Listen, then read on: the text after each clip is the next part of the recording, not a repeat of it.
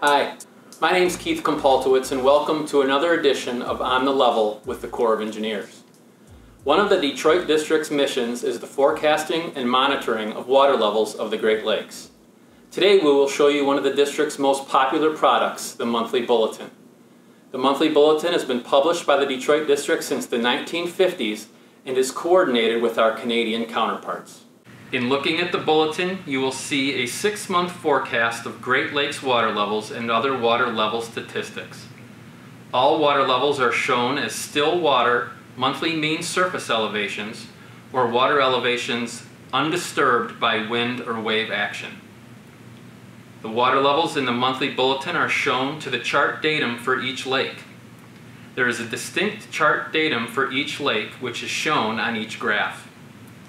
These datum planes have fixed elevations relative to the International Great Lakes datum of 1985. The IGLD 1985 has its zero base at Rimouski, Quebec, near the mouth of the St. Lawrence River. Each lake's water level is portrayed in a hydrograph or a plot of water surface elevation over time. Up to 24 months of recorded water level data are shown as a solid red line. Zooming in to a bulletin graphic for Lake Erie, you will see the blue dashed line representing the long-term average water level and hatch marks in year of occurrence for both record high and record low levels. All statistical info is based on a period of record going back to 1918.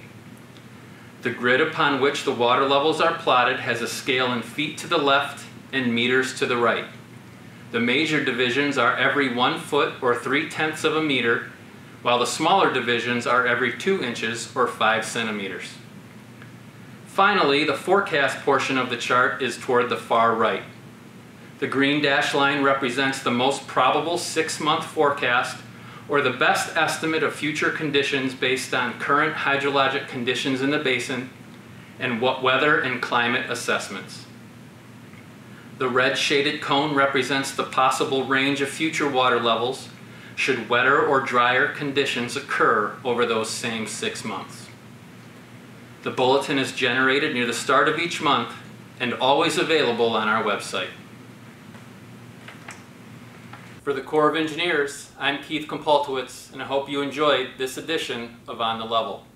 Be sure to check out our website and like us on social media for more Great Lakes information.